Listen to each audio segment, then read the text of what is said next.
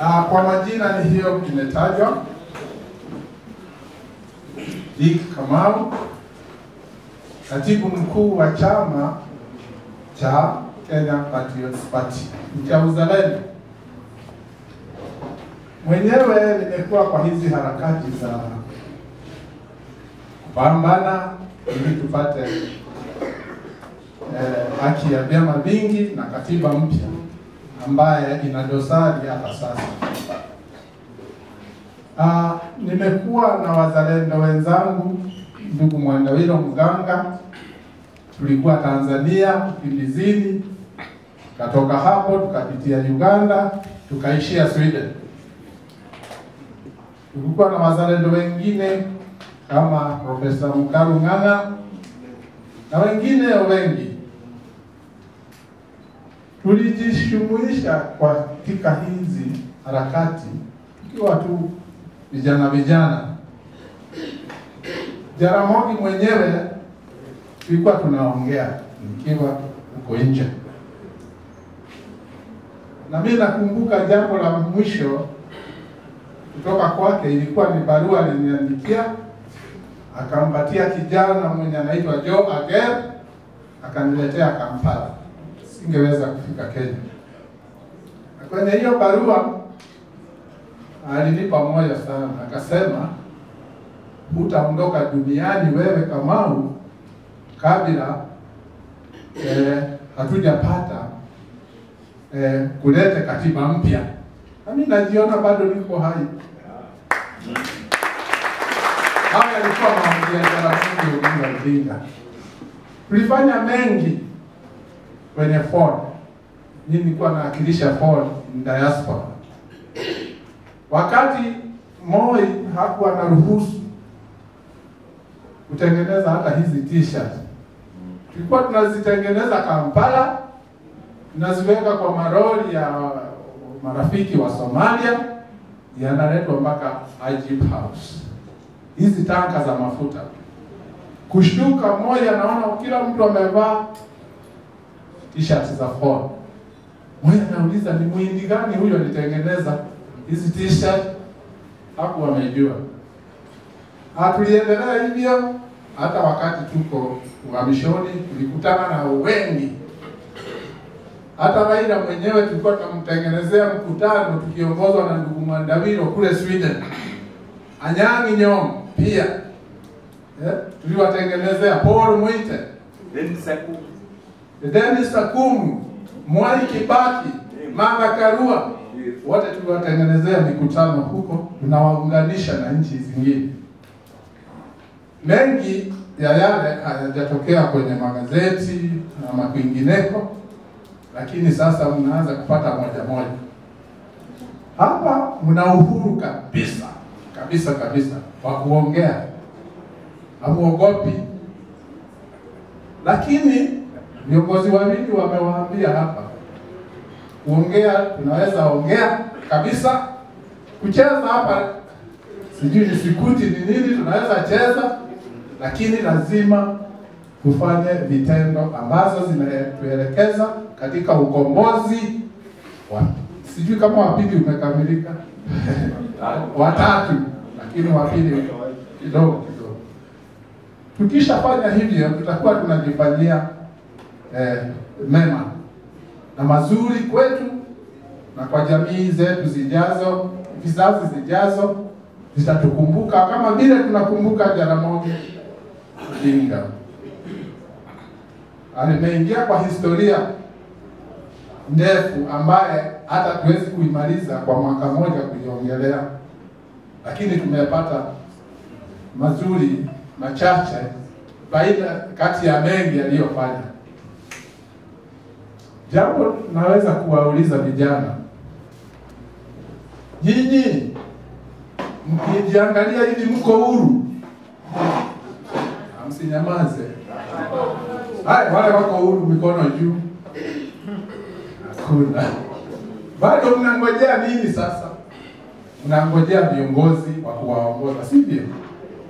Eh?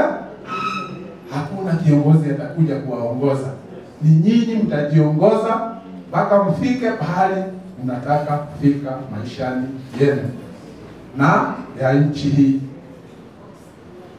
Nimekuwa nikiongea na kiongozi ambaye sitamtaja hapa hapa tu kwamba tunataka uongozi huko Mount Kenya, na tunalia ni nani atatuongoza, lakini nimeambia huyo kiongozi yeye ana uwezo wa kutuongoza. Tusitafute viongozi nje ya sisi wenyewe. Kama ni sisi watu wa kuaminika, watu wa kujiheshimu wenyewe, watu wa kujiamini, watu ambao hawajidanganyi vile wengi wetu tunajidanganya, ati tuko nchi nzuri, nchi ya amani, sijui asali na nini, lakini hatuipati hiyo asali, hatupati huo uzuri bila mapambano. Sasa jambo lingine ambalo nataka kuwauliza, ukitaka kwenda safari yoyote unatafuta means, yani eh, chombo cha kukuendesha pale, lakini si lazima uchague hiki chombo kitakufikisha ama la. Mnajua mnatembelea chombo gani sasa? Mko kwa mgongo ya fisi na mnajidanganya mtafika pahali mnaenda. Yaani viongozi tulioko nao ni mafisi na mko juu ya mgongo wao. Umeambiwa parliament imeenda na bado mko kwa hawa wako parliament, mheshimiwa fulani, mheshimiwa fulani. Nyinyi you are riding on a tiger expecting to reach your destiny. Is that being clever? No. Eh? Nature ya tiger ni nini ama fisi? Ni kula. Akisha ukiwa juu ya mgongo wake akichoka, wewe ndio lunch ama dinner. Wewe unajidanganya utafika. Hii nchi bado imebaki ukombozi ambao u- ni wa kuondoa ubinafsi, kujitakia wewe mwenyewe makuu, wewe na familia yako, utakie nchi yako mazuri wewe mwenyewe. Hatuwezi ishi nchi kama hii vile ilivyo sasa. Wengi wenu mnajua eh, utumwa ni nini, mmesoma juu ya eh? Slave, slavery. Sasa wale viongozi tuko nao, siogopi nikisema they are slave traders. They are trading on you. Ndio wewe ananyonya damu, ndio wanafanya kila kitu, ndio wanakuogopesha, ndio wanakunyima haki zako. Are those not slave traders? Are you safe? Are you safe anymore? Naona watu wanafurahia ati wanatumwa ng'ambo, na pia wanaelezwa hivi, tunataka mwende huko mlete pesa hapa.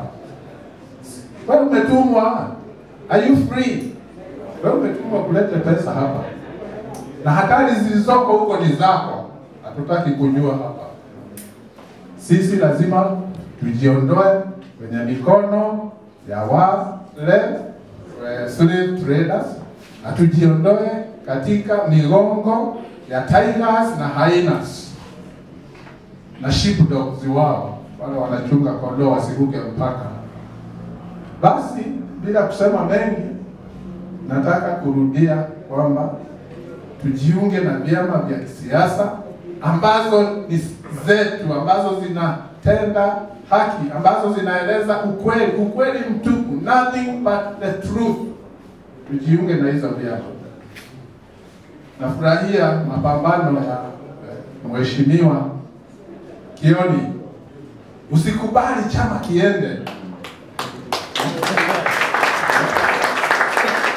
Tutamuunga mikono kama vyama vingine, tunashirikiana na eh, Communist Party. Hata kwenye muungano wa vyama mimi naitwa the Communist.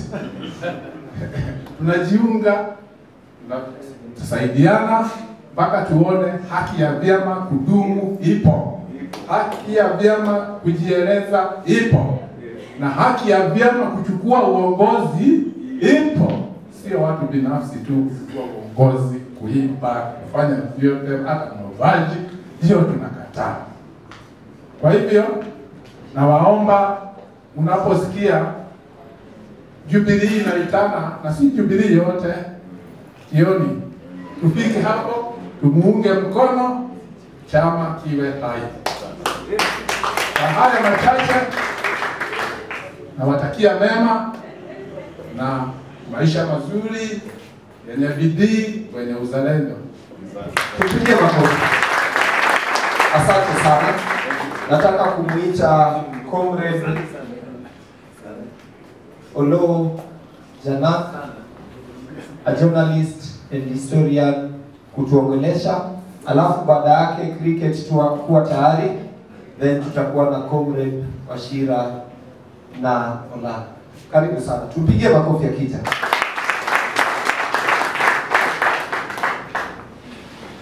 Comrade Power.